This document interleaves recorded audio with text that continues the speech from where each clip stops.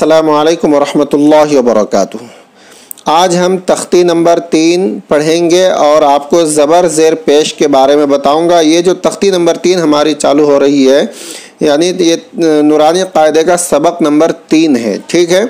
और ये हमारी जो आज की क्लास है, ये सातवीं क्लास होगी तो सातवीं वीडियो, सातवीं क्लास हमारी ये रहेगी, और तख्ती नंबर तीन, यानी तीसरा सबक हम पढ़ेंगे, इसके भी दो तीन पार्ट्स बनेंगे, ठीक है? अलग अलग हिस्सा करके हम पढ़ेंगे, यानी ज़बर, ज़ेर, पेश है तो पहले ज़बर का हम पढ़ लेंगे पूरा ये, उसके बाद फिर ज़ेर का पढ़ाऊँगा, फिर उसके बाद पेश का आपको पढ़ाऊँगा, ठीक है? तो ये तीन पार्ट्स इसके हो जाएँगे, यानी तीन क्लासें इसमें हो जाएँगी, ठीक है? तो तख्ती नंबर तीन हरकत है और अब तक हमने तख्ती नंबर एक और दो मुकम्मल हमने पढ़ लिया, यानी पहला सबक और दूसरा सबक हमने मुकम्मल पढ़ लिया है, ठीक है? तो चलिए तख्ती नंबर तीन हम शुरू करते हैं और ज़बर के बारे में पढ़ते हैं। तो तख्ती नंबर तीन के जो यहाँ ऊपर आप देख रहे हैं, उर्दू में लिखा हुआ है तो ये मैं पढ़ के आपको बताऊँगा। तो जो हज़रत उर्दू नहीं जानते हैं तो उनके लिए ये है कि भाई आप जो है रोमन इंग्लिश में इसको लिख लें, जैसे मैं बोलता जा रहा हूँ, उसी तरह आप रोमन इंग्लिश में लिख लें और उसको पहले याद कर लें, ठीक है? ये पूरी तख्ती जो है, ये यानी ऊपर जो उर्दू में ये ग्रामर लिखा हुआ है, इसको पहले आप रोमन इंग्लिश में लिख लें। जिनको उर्दू आती है तो वो यहीं से देख कर आप पढ़ लें नुरानी कायदे से। जिनको नहीं आती है उर्दू, वो रोमन इंग्लिश में लिख लिख लें कापी में और उसके बाद फिर उसको याद करें, तब उसके बाद नीचे का आप पढ़ेंगे, ठीक है? तो चलिए शुरू करते हैं।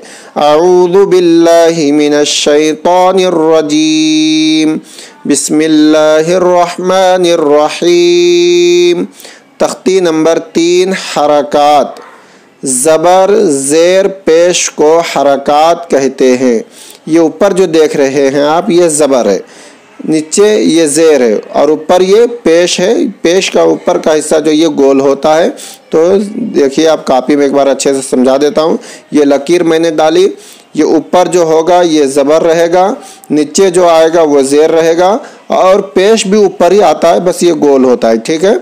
इसका सिरा जो होता है, ये ऊपर का हिस्सा, ये गोल होता है, ठीक है? तो ये ज़बर और पेश ऊपर होता है, और ज़ेर नीचे होता है। पेश की शक्ल ये होती है कि इसमें ये गोलाई लिए हुए इस तरह होता है, ठीक है? तो ज़बर और ज़ेर, ये पेश। तो इसको अच्छे से फिर एक बार देख लीजिए, ये ज़बर, ये ज़ेर और ये पेश, ठीक है? ज़बर हो गया।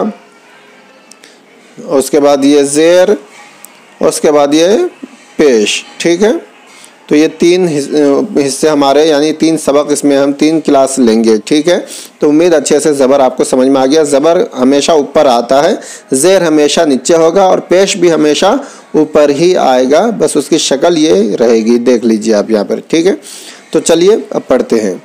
तख्ती नंबर तीन, हरकत। ज़बर ज़ेर पेश को हरकत कहते हैं।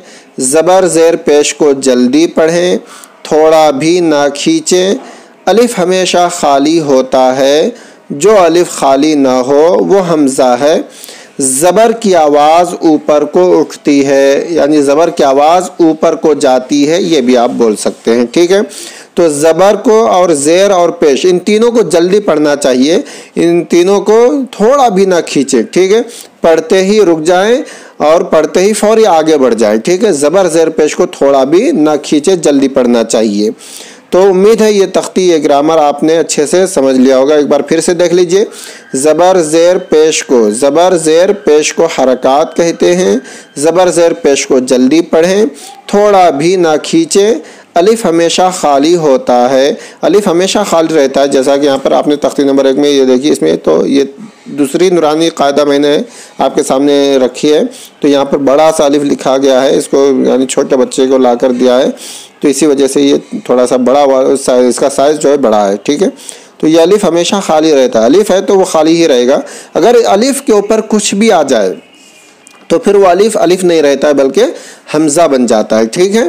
तो अलिफ के ऊपर अगर कुछ भी जैसे ज़बर आ जाए या ज़ेर आ जाए या फिर पेश आ जाए या आगे एक जज्म है, वो आ जाए तो फिर वो अलिफ नहीं रहता, बल्कि हमज़ा हो जाता है, ठीक है? तो जो अलिफ खाली ना हो, वो हमज़ा है, ठीक? अब ये खाली नहीं है, क्यों? इसलिए कि इसके ऊपर ज़बर आ गया। तो अब ये अलिफ नहीं पढ़ेंगे, बल्कि इसको हमज़ा पढ़ेंगे, ठीक है? तो चलिए, ज़बर की आवाज़ ऊपर को उठती है। तो उम्मीद आपने रोमन इंग्लिश में कापी में लिख लिया होगा और उसको याद कर लेंगे आप, ठीक है? ये याद करने के बाद ही इसको आप नीचे का पढ़ेंगे, ठीक है? तो चलिए हमज हिज्जे और रवा, दोनों पढ़ेंगे हिज्जे, यानी स्पेलिंग करके पढ़ना और रवा, यानी डायरेक्ट पढ़ना, ठीक है? तो चलिए पढ़ते हैं, पहले हिज्जे कर लेते हैं हम। हमजा, ज़बर, अ, बा, ज़बर, बा, ता, ज़बर, ता, सा, ज़बर, सा, जीम, ज़बर, जा, ह, ज़बर, ह, ख, ज़बर, ख।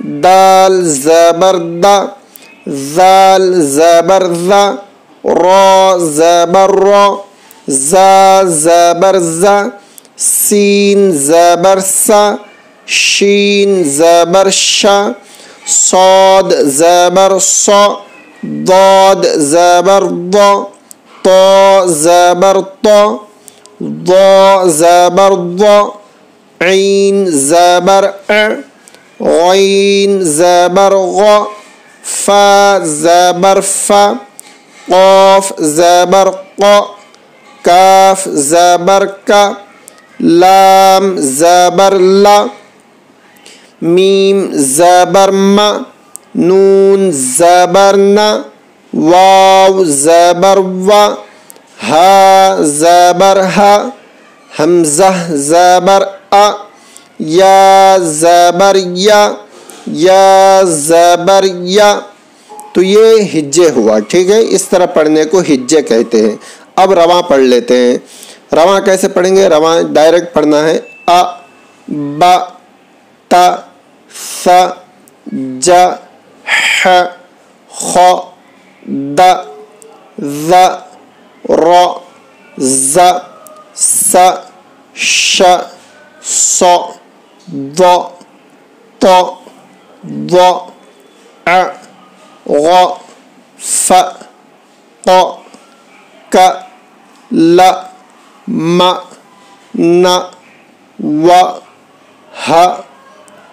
अ या या तो देखा आपने किस तरह जल्दी पढ़ा गया इसको ठीक है तो ज़बर को जल्दी पढ़ना आ बस बोलते ही पढ़ते ही रुक जाइए ठीक है अगर इसके ऊपर आप अगर पढ़ते ही फौरी नहीं रुकेंगे तो फिर ये खींचा चला जाएगा ज़बर, ठीक है, जो कि गलत है।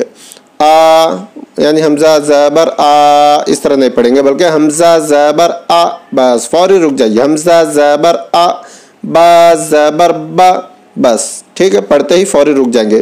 तो हिज्जे, हमजा, ज़बर, आ, ब, ज़बर, बा, इस तरह से या, ज़बर, या तक पढ़ने को हिज्जे कहते हैं। रवा कैसे पढ़ेंगे? अ ब, त से या तक, ठीक है? डायरेक्ट इस तरह पढ़ने को रवा कहते हैं। उम्मीद है समझ में आ गया होगा। तो चलिए अब नीचे पढ़ा देता हूँ ये। अब पहले हिज्जे पढ़ेंगे हम, उसके बाद फिर रवा पढ़ाऊँगा, ठीक है? दाल, ज़बर, दा, रॉ और हिज्जे करने का तरीका भी देख ले आप, ठीक है? जिस तरह कर रहा हूँ हिज्जे, उसी तरह आपको करना है। दाल, जबर, द, रॉ, जबर द, रॉ, सीन, जबर, सा, द सा वाव जबर व दाल जबर द व द ऐन जबर अ व द अ ऐन जबर अ ब जबर ब अब दाल ज़बर द अबद काफ ज़बर का सीन ज़बर सा कस ब ज़बर ब कसब दाल ज़बर द ख ज़बर ख द ख लाम ज़बर ला द ख ला ब ज़बर ब लाम ज़बर ला बला गैन ज़बर ग बलग वाव ज़बर व जीम ज़बर ज वज दाल ज़बर द वजद सीन ज़बर स जीम ज़बर ज सज दाल ज़बर द सजद तो ये हिज्जे हो गया, ठीक है? उम्मीद है अच्छे से आपने समझ लिया और पढ़ लिया होगा। तो इसको बार बार आप रिपीट करें, बार बार पढ़ें तो अच्छे से मश्क हो जाएगी, ठीक है? तो चलिए अब रवा पढ़ लेते हैं। रवा जैसे बा, ता यहाँ हमने जल्दी पढ़ा, उसी तरह जल्दी पढ़ना है, ठीक है? बहुत ज़्यादा फास्ट नहीं पढ़ना है, बस नॉर्मल अंदाज में पढ़ना है। दारोसा दारोसा दरसा, ये जल्दी नहीं पढ़ना इस तरह, बल्कि दारोसा, जैसे यहाँ आपने पढ़ा दा। तो इसी तरह यहाँ दा बोलना है, फिर रॉ बोलना है, फिर सा बोलना है। तो दारोसा, वदा अबद, कसब, दखल, बलग, वजद, सजद। तो ये रवा हो गया, ठीक है? तो अब यहाँ पर जो ये उर्दू में आप देख रहे हैं ना, नीचे ये हिज्जे करने का तरीका, यानी हिज्जे किस तरह करना है यहाँ पर देख सकते हैं। अब ये दो नंबर ये यहाँ पर दो नंबर लिखा हुआ है, यानी हिज्जे करने का तरीका बतलाया गया। और ये एक नंबर जो आप देख रहे हैं, ये एक नंबर में ये बताया गया कि हर तख्ती में हिज्जे और रवा दोनों की मश्क कराए यहाँ पर लिखा गया है। ठीक है ठीक है? तो इसीलिए मैंने आपको हिज्जा और रवा दोनों करके आपको पढ़ाया, ताकि आपको हिज्जे करने भी आना चाहिए और रवा भी पढ़ने आना चाहिए। हिज्जे से क्या होता है कि आप, यानी जैसे मिसाल के तौर पर अगर आपको ये पढ़ने नहीं आ रहा है ये अलीफ है या क्या है? तो आपको इससे पहले बता दिया कि अलीफ इस तरह नहीं आता, बल्कि लाम है। तो लिहाजा आपको समझ में नहीं आ रहा तो आप हिज्जे कर ले, जैसे बा, ज़बर, बा, लाम, ज़बर, ला, बला ज़बर, गौ, बला, गौ तो इस तरह आसानी हो जाती है। बाकी आपको पढ़ना रवा ही है, ठीक है? तो उम्मीद है अच्छे से ये सबक आपको समझ में आ गया होगा।